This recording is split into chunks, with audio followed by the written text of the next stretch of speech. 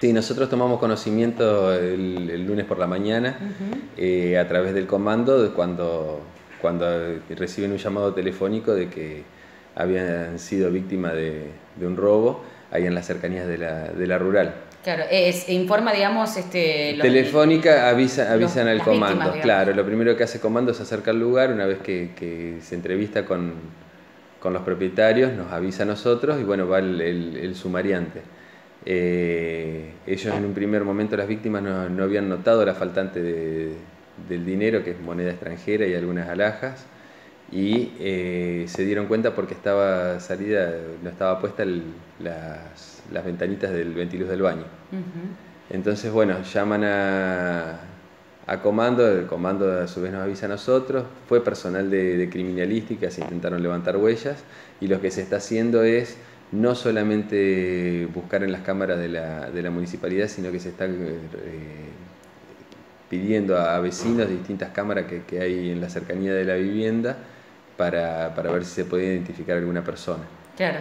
Eh, el lugar no cuenta con ninguna, digamos, este, medida de seguridad, ya sea alarma o algo, no tenía absolutamente nada. No, digamos, eh, es una dependencia separada de lo que es la casa, vendría a ser el, quincho, y no cuenta con medidas de seguridad y no, no, hay, no hay personas dentro eh, en el horario que, que ingresaran. Claro. y se pudo, digamos, este, en, en el trabajo que realizaron, se pudieron levantar huellas y demás a pesar de estar mirando también las cámaras de seguridad? Eh, ese, ese trabajo es específico de la parte de criminalística. Ellos después nos hacen un informe si hubo eh, alguna huella positiva, porque ellos eh, se, fijan para, para, hacer el levantamiento, que no coincide incluso con los propietarios de la vivienda. Claro, no se encontraban en el momento, digamos, en los propietarios de la vivienda, se dieron cuenta, digamos, varias horas más tarde. Eh, ellos estaban, pero en, la casa. En la vivienda. Que como es una dependencia separada, no, no, advirtieron que había ingresado alguna persona.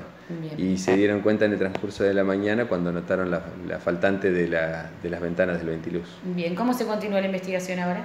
Y ahora, bueno, es, ver qué, qué, es lo que arroja la parte de criminalística y se está más que nada viendo el tema de, de las cámaras. Ya se empezaron a ver algunas cámaras, lo único que lleva bastante tiempo porque son varias horas eh, que es el transcurso de la, de la, noche, y nosotros casi que lo vemos en tiempo real a, las cámaras. Entonces eso lleva varias horas de, de, trabajo. Claro. Teniendo en cuenta que es una importante suma de dinero de moneda extranjera, como decía, algunas alhajas, ¿hay alguna sospecha de que se podría saber de que tenían, digamos, estas cuestiones de valor en la vivienda o puede ser un robo más al azar en donde, bueno, dieron con, con, todo esto? No, por las declaraciones que se tomaron a las víctimas, eh, ha sido un, robo más y que, tuvieron, eh, digamos, la suerte de encontrarse con ese, con ese dinero. No, no es algo que podría llegar a ser eh, que dependa internamente de la familia.